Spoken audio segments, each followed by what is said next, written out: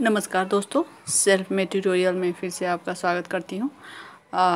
ये वीडियो जो है, नेट जार क्विक प्रिपरेशन 2020 के लिए तैयार किया गया है। ये हिस्ट्री प्रीवियस ईयर क्वेश्चन है नेट जेआरएफ के लिए।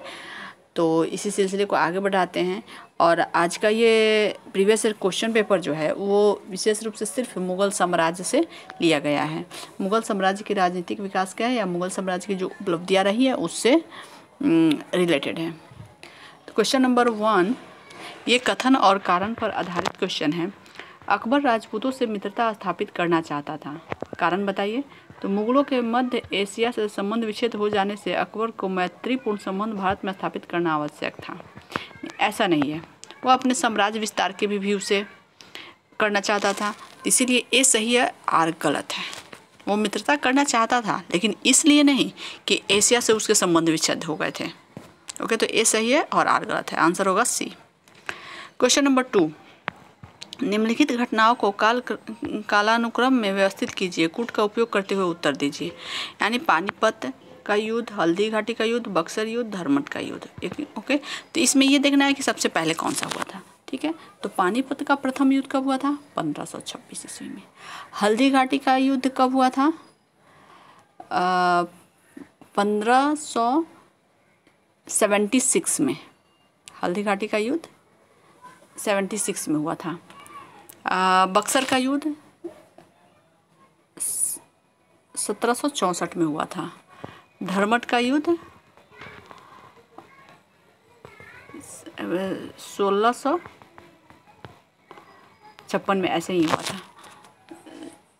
थोड़ी सी कंफ्यूज धर्मट का युद्ध तो सबसे पहले इसमें आ जाएगा एक, पानीपत का प्रथम युद्ध, फिर दो, हल्दी घाटी का युद्ध, उसके बाद से धर्मट का युद्ध चार, उसके बाद से बक्सर का युद्ध ओके तो इसका आंसर होगा ए क्वेश्चन नंबर थ्री इसमें मिलान करना है कि ये जो उपनाम दिए गए हैं और उसमें जो मुग़ल कालीन शासकों के नाम दिए गए हैं। जहीरुद्दीन, जलालुद्दीन, नूरुद्दीन, आलमगीर, ओके? सबसे पहले मैं बता दूँ कि जलालुद्दीन तो अकबर को कहा जाता है तो बी का वन देखेंगे तो बी का वन किसमें है? ए में बी में है बी नंबर में। तो यानी कि इसमें कहीं और नहीं है वन तो यानी कि बी बिल्कुल सही है। तो यानी एक का टू हो जाएगा, जहीरुद्दीन किसको कहा जाता है? बाबर को, जलालुद्दीन अकबर को, नूरुद्दीन जहांगीर को, आलमगीर औरंगज़ेब को। ओके तो थ्री का आंसर हो जाएगा बी क्वेश्चन नंबर फोर जो जून 2011 में पूछा गया है, निम्नलिखित में से कौन सा युग्म सुमेलित नहीं है? यानी कि सूबों की संख्या देखना है। अकबर के समय में पंद्रह सूबे थे, सही है। जहांगीर के समय में सत्रह, सही है। शाहजहाँ के समय में अठारह सूबे थे, ये भी सही है। लेकिन औरंगज़ेब के समय में चौबीस सूबे थे, ये गलत है। ओके तो ये सही सुमेलित नहीं है। डी क्वेश्चन नंबर फाइव निम्नलिखित लड़ाइयों का सही अनुक्रम बताइए। नीचे दिए गए कुटुंब चयन कीजिए, ठीक है? कन्नौज की लड़ाई, खानवा की लड़ाई, पानीपत की तीसरी लड़ाई, पानीपत की पहली लड़ाई। तो कन्नौज की लड़ाई कब हुई थी? पंद्रह सौ कन्नौज या विलग्राम की लड़ाई जो कहते हैं, पंद्रह सौ चालीस। में ही हुई थी, ठीक है? खानवा की लड़ाई? खानवा की लड़ाई हुई थी पंद्रह सौ सत्ताईस या अट्ठाईस में हुई होगी कन्फ्यूज़न है। पानीपत की तीसरी लड़ाई सत्रह सौ तो इकसठ में हुई थी। पानीपत की पहली लड़ाई पंद्रह सौ छब्बीस ईस्वी में। यानी कि सबसे पहले आता है पानीपत की पहली लड़ाई। तो चार नंबर पहले हो गया, उसके बाद से खानवा की लड़ाई, दो उसके बाद से कन्नौज की लड़ाई, और सबसे तीसरी लड़ाई सत्रह सौ इकसठ में हुई थी, तीन। तो इसका फाइव का आंसर हो जाएगा ओके चलिए, आगे बढ़ते हैं। क्वेश्चन नंबर सिक्स इसमें करना क्या है कि अकबर कालीन निम्नांकित घटनाओं में से कौन सा युग में सही सुमेलित नहीं है? इसमें ये देखना है कि जैसे मे, मेड़ता को हस्तगत करना पंद्रह में ये सही है। असरीगढ़ का घेरा 1601 में ये भी बिल्कुल सही है। गुणवाना का विजय पंद्रह में सही है। उड़ीसा की विजय पंद्रह में ये गलत है तो ये सही सुमेलित नहीं है। क्वेश्चन नंबर सेवन राज तिलक के तुरंत पश्चात जहांगीर द्वारा जारी किए गए अध्यादेशों में दसवां अध्यादेश संबंधित था। जागीरदारों के क्षेत्र से।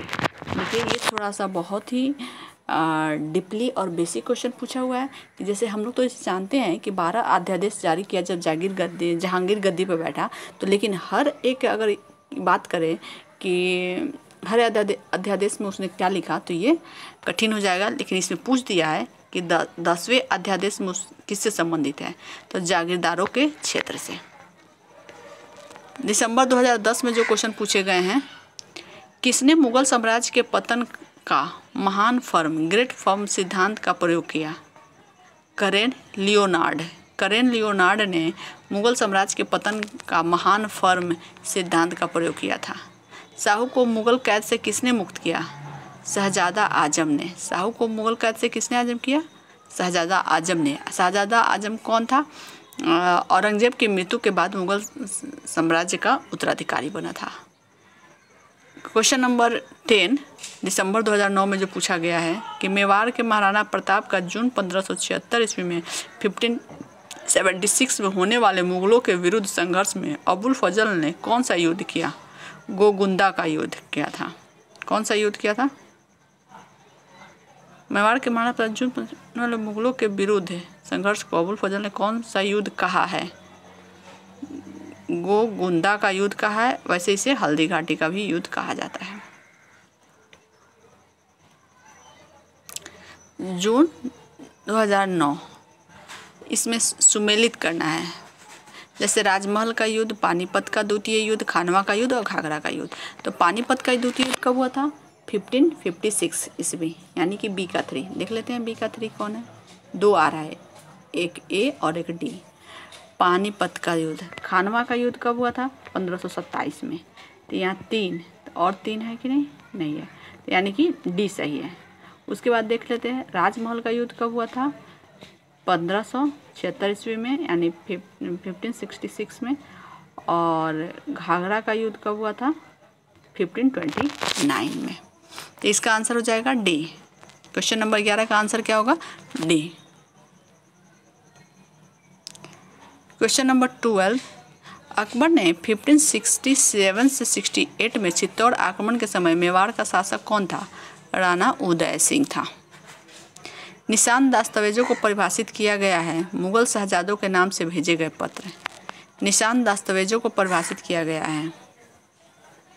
निशान का दस्तावेज़ को पर निशान का मतलब क्या होता है? वैसे दस्तावेज़ जो मुगल शहजादों के नाम से भेजे गए पत्र हैं।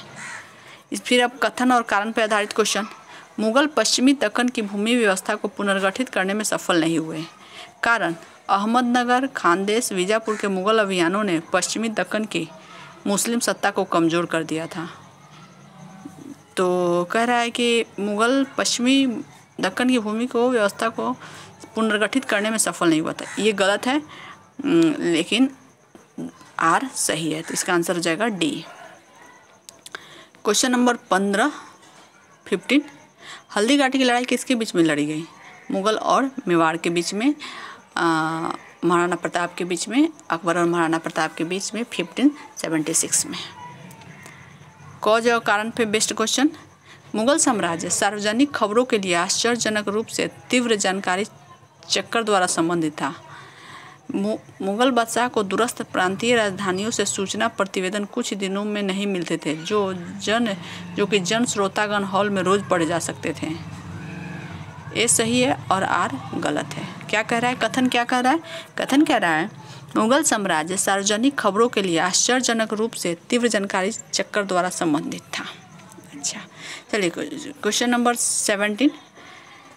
बलख और बदखसा पर आक्रमण और शाहजहाँ द्वारा कंधार के बाद एक तीन घेराबंदियों का परिणाम खून बहाने 30 से चालीस हज़ार लोगों की मृत्यु और 45 मिलियन रुपये के व्यय के अलावा कुछ नहीं था।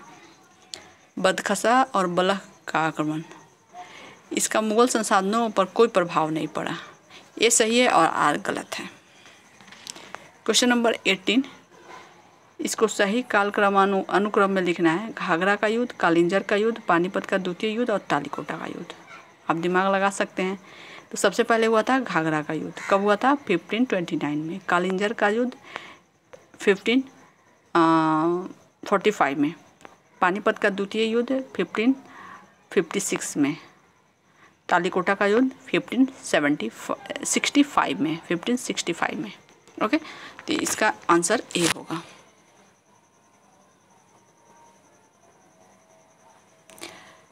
क्वेश्चन नंबर नाइनटीन बाबर ने गाजी का खिताब कब अपनाया? बाबर ने गाजी का खिताब अपनाया पंद्रह सौ सत्ताईस ईस्वी में। जून 2007 में जो क्वेश्चन पूछा गया है कि जहांगीर ने जिस परंपरा को आरंभ किया, उसके अंतर्गत मेवाड़ के राणा को मुगल दरबार में उपस्थित होने और सेवा करने के उत्तरदायित्व से मुक्त कर दिया गया। वह आमेर के राजा मान सिंह को अपमानित करना चाहता था। नहीं, ये तो गलत है। आर गलत है ए सही है। इसका आंसर हो जाएगा बीस का C. Twenty one, question number twenty one, किसने मुगल शहरों को शिविर नगर कहा है? याद रखिएगा, मुगल शहरों को किस किस तरह का नगर कहा गया है? बर्नियर ने क्या कहा है? तो मुगल शहर को शिविर नगर कहा है बर्नियर ने। निम्नलिखित में से किसने सोलह सौ ईसा, ईस्वी में भारत की कुल जनसंख्या को 10 करोड़ के लगभग अनुमानित किया? मोरलैंड ने। 1600 एडी में भारत की कुल जनसंख्या को 10 करोड़ किसने अनुमानित किया था? तो बर्न, मोरलैंड ने। Question number twenty three. ये सुमेलित करना सही, ऐतिहासिक घटनाएँ और वर्ष हैं। तो इसमें मालवा का विजय कब हुआ था? 1561 में और ये अकबर की सबसे पहली विजय थी। और अकबर की सबसे लास्ट विजय 1601 में असीरगढ़ की विजय थी। मैं आपको बता देती हूँ। इबादत खाने को बंद करना कब बंद किया गया? तो 1582 में। उसके बाद से इलाही संवत का सूत्रपात कब हुआ था? 1584 में। और 1584 में। उड़ीसा की विजय कब हुई थी? इलाही संवत का शुरुआत 1584 में और उड़ीसा की विजय 1592 ईस्वी में। ओके? तो इसका आंसर हो जाएगा ए निम्नलिखित का सही कालक्रम क्या था? अपने सही उत्तर का चयन नीचे दिए गए कुट से कीजिए।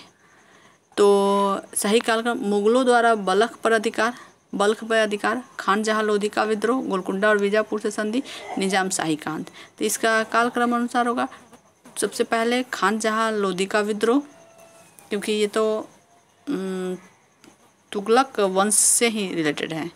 उसके बाद से आता है निज़ाम शाही का अंत, उसके बाद से आता है गोलकुंडा और बीजापुर से संधि, और लास्ट में मुगलों द्वारा बल्ख पर अधिकार, बल्ख पर अधिकार।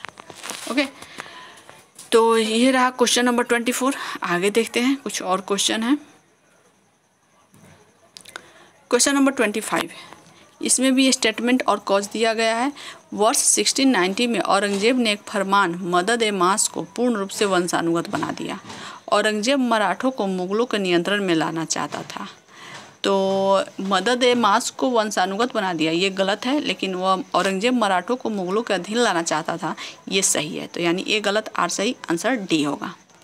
जैनों के संरक्षक थे कौन? इसमें से कौन सा मुगल शासक जैनों का संरक्षक था? बाबर तथा हुमायूं हुमायूं तथा अकबर अकबर तथा जहांगीर जहांगीर तथा औरंगज़ेब, अकबर तथा जहांगीर। बाबर ने आत्मकथा लिखी थी चगताई तुर्की में। चगताई तुर्की में बाबर ने आत्मकथा लिखी थी। खालसा पंथ की स्थापना करने वाले थे कौन? गुरु गोविंद सिंह। निम्नलिखित में से कौन सा इतिहासकार मुगल साम्राज्य के पतन की मुगल केंद्रित अभिगत से सम्मत नहीं है? इरफान हबीब। यानी निम्नलिखित में से कौन सा इतिहासकार मुगल साम्राज्य के पतन की मुगल केंद्रित अधिगम, अभिगम से सहमत नहीं है। इरफान इरफान हबीब। ओके, इरफान अभी एक बहुत बड़े मध्यकालीन इतिहासकार रहे हैं, या आधुनिक इतिहासकार हैं, किस पीरियड के? तो मध्यकाल पीरियड के, ओके। तो ये रहा मुगल साम्राज्य की उपलब्धियों से संबंधित यूजीसी नेट में पूछे गए प्रीवियस ईयर क्वेश्चन पेपर, आप देखें और आपके एग्ज़ाम में बहुत ही महत्वपूर्ण साबित होगा तो आप देख के अच्छे से कंप्लीट कर लें और वीडियो को लाइक करें, ज़्यादा से ज़्यादा शेयर करें और चैनल को सब्सक्राइब कर लें। और इस तरह से चैनल पर बने रहें। मैं नेक्स्ट वीडियो के साथ फिर से उपस्थित होंगी। तब तक के लिए आपको धन्यवाद।